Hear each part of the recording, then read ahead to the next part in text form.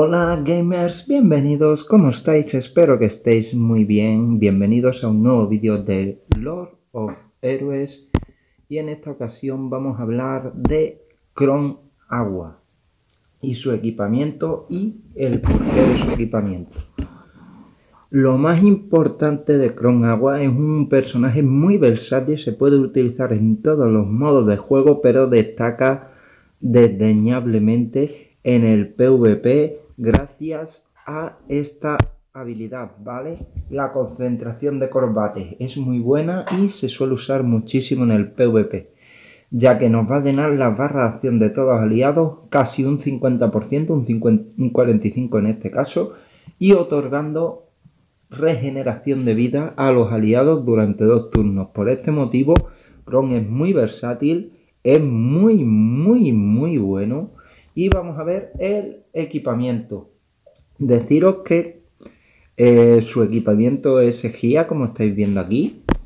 Y la GIA lo que va a permitir es la reducción de daño. Eh, aparte de eso, intentar que todos los equipamientos posibles, como estáis viendo aquí, le dé velocidad. Contra mayor velocidad tenga Chrome, más nos va a garantizar que pueda salir primero en la arena y utilizar su habilidad para adelantar las posiciones de los compañeros a la hora de atacar.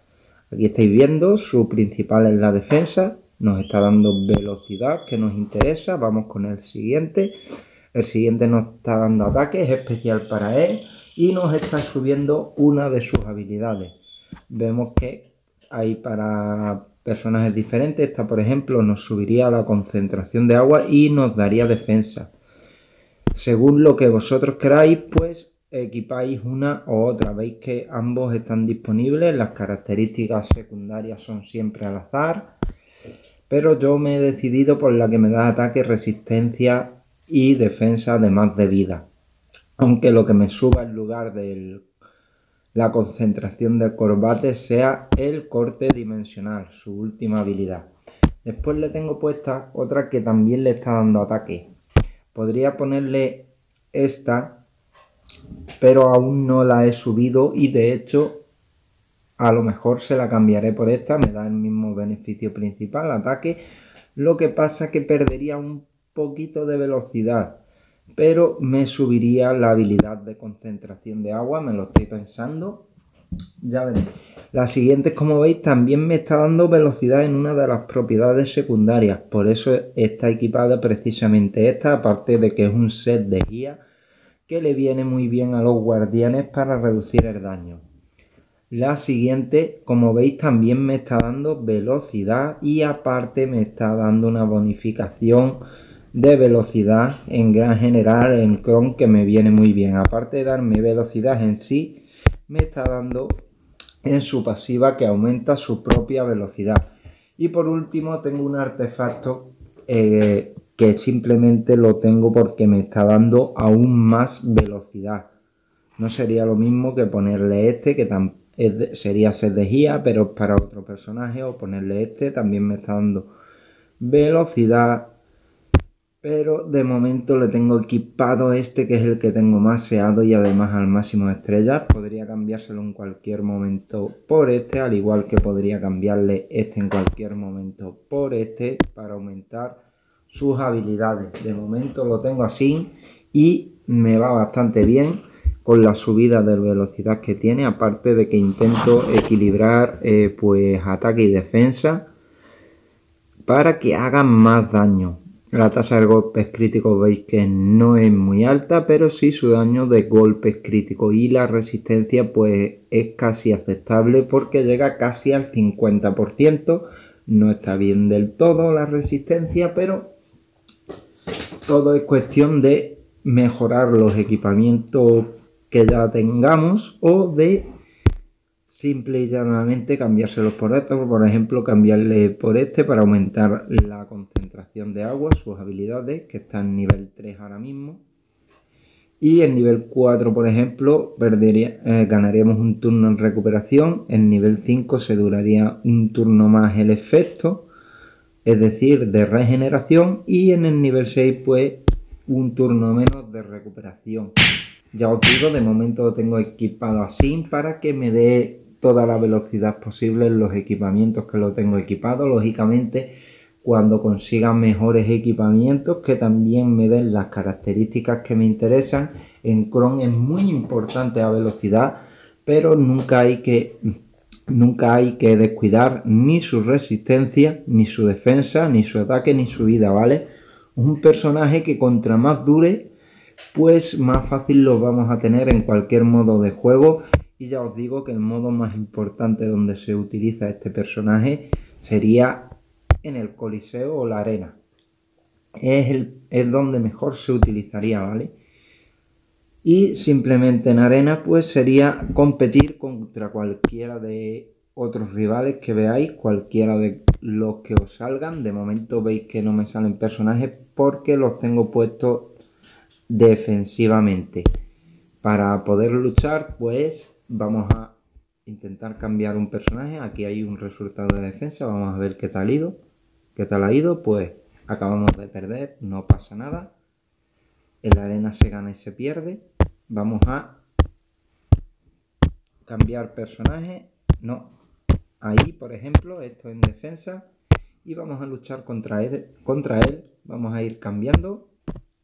Y vamos a ir poniendo personajes para la arena, por ejemplo yo utilizo el mismo equipo tanto para defender como para atacar de momento hasta que vaya subiendo más héroes y vamos a ver el funcionamiento de Chrome. Ya os digo que su funcionalidad básica es adelantar el turno al resto de los compañeros.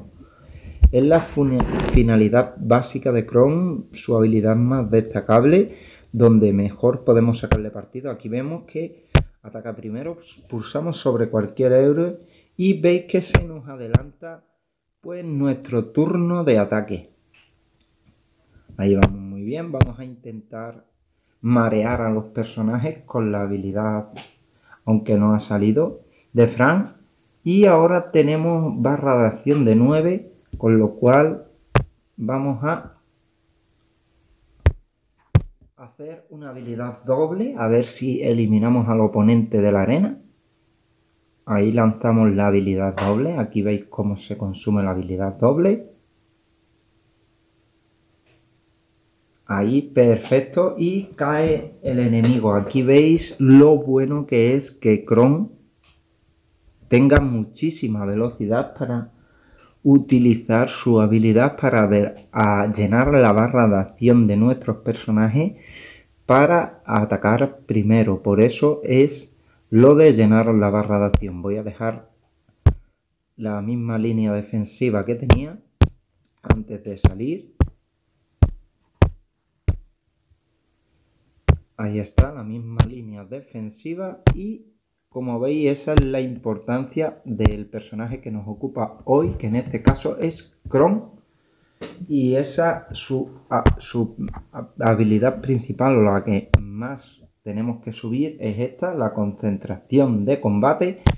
Y por supuesto esta también, ¿vale? Que aumenta su propia velocidad. Esta también tenemos que subirla. La de gran general que es pasiva y la concentración de combate son las principales habilidades de Chrome y la que lo hacen tan valioso en cualquier modo de juego, principalmente en el PvP da una ventaja muy buena.